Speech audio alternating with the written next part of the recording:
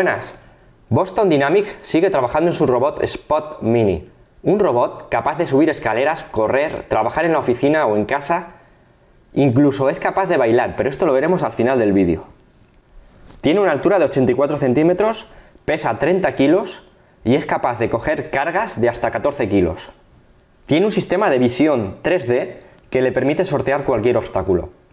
Dispone de 17 articulaciones que le ayudan a coger objetos o a correr, a hacer varios movimientos.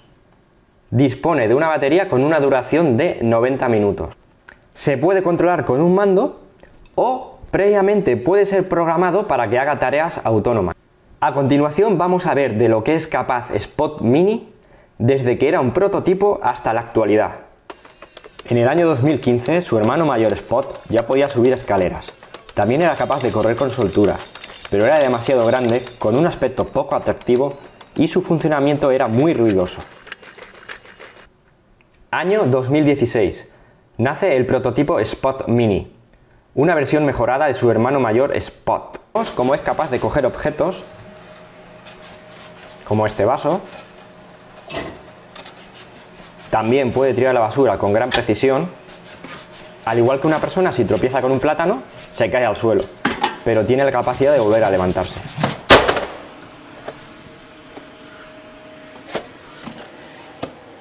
...12 de febrero de 2018... Spot Mini sigue evolucionando, es capaz de comunicarse con otro robot y pedirle ayuda para abrir la puerta.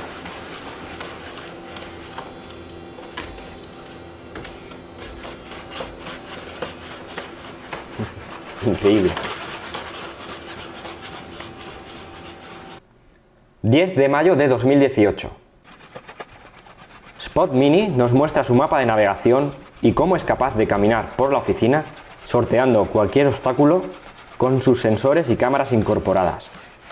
Antes de la prueba, Spot Mini fue conducido manualmente por la casa para que pudiera construir un mapa del espacio usando datos visuales de sus cámaras frontales, laterales y traseras.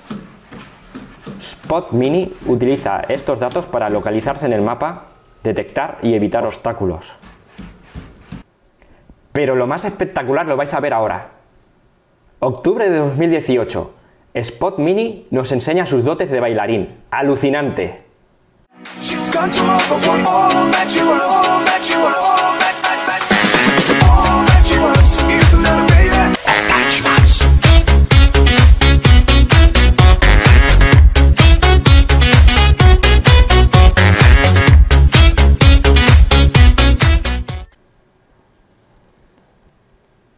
En base a lo que hemos visto en este vídeo, os hago una pregunta.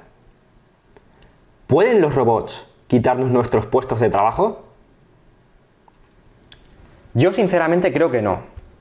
Quedan muchos años para eso, por la sencilla razón de que los robots necesitan ser programados. ¿Qué opináis vosotros? Espero vuestras respuestas aquí abajo. Si os ha gustado el vídeo, suscribíos y darle a like. Hasta luego. Fido versus Big Dog. No. Do the, do the cut. Oh. oh, battle mode. Oh.